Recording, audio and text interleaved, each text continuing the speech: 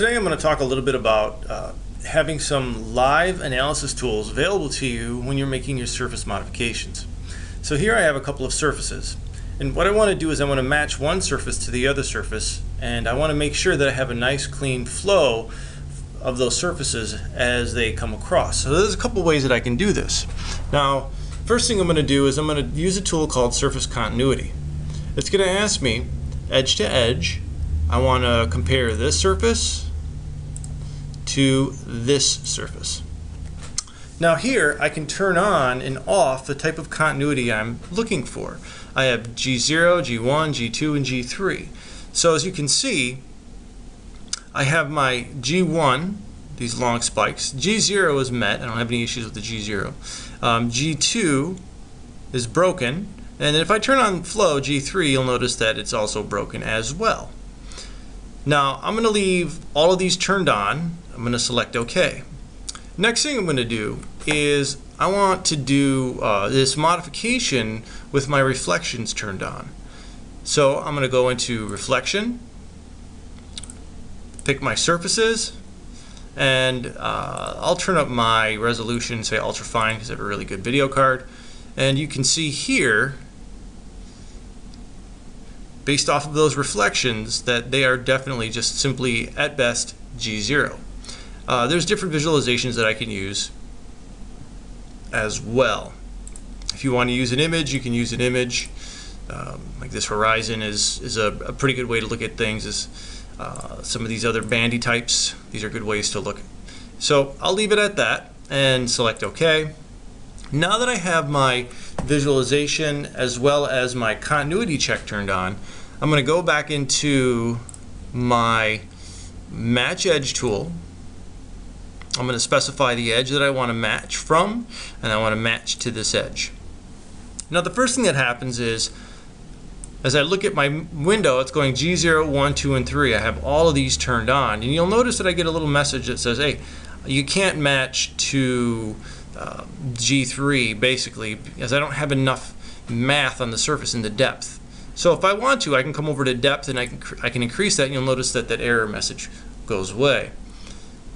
Now my surfaces are distorted and as I look at this you can see mathematically I'm almost perfect G1 uh, G2 and G3 if I look at uh, here you'll see this is well within any allowable deviations.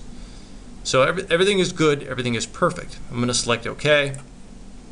Now that I have that in, um, I'm going to look at this visually and say, yeah, this looks pretty good. I like the way this looks. I know I'm matching everything cleanly, but I don't like the way the surface is flipping up.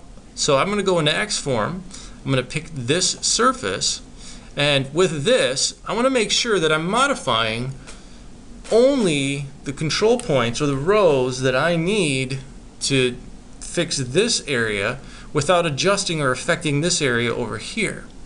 Now, as I do that, I want to make sure that if I come over here, and you know this is my vmin, if I right mouse click, I'm going to go and say flow. I want to maintain that flow. So what ends up happening is, is I can't accidentally modify these control points on, on, on the surface that will adjust or, or, or change the flow across that boundary. What this leaves me with is the ability now to modify just the rows that I'm allowed to. So I'm going to change this to, we'll say normal. I'm going to pick this and move this. And you'll see that I'm getting a true adjustment in my normal direction.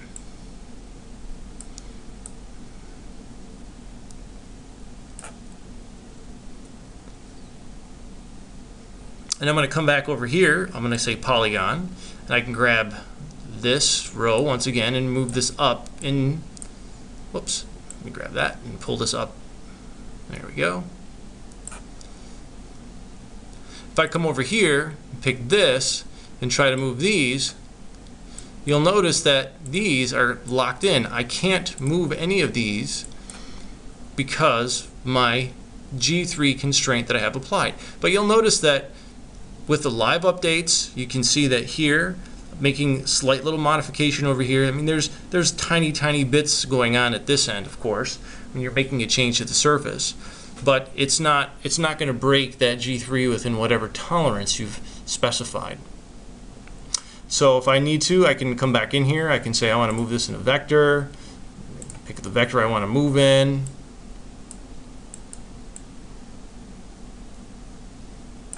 Make my adjustments and visually get the surface that I want. So you can see it's still nice and clean. I have no issue with uh, breaking tangency. This is just one manner in which you can do this. I'm going to do this again, but with some additional tools like the section analysis with porcupines as well. And uh, um, I'll come back and have a separate uh, lecture about that because there's other tools that I want to talk about. I don't want to talk about too much in one video. But uh, that, that's basically how you can go about uh, applying some of your analysis tools. Let me select OK. Some of your analysis tools like the surface continuity as well as your reflection to adjust your surfaces to get what you want dynamically.